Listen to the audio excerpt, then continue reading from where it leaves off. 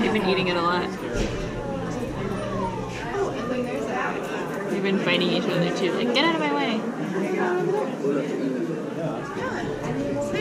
Oh, they're just all hanging out other here.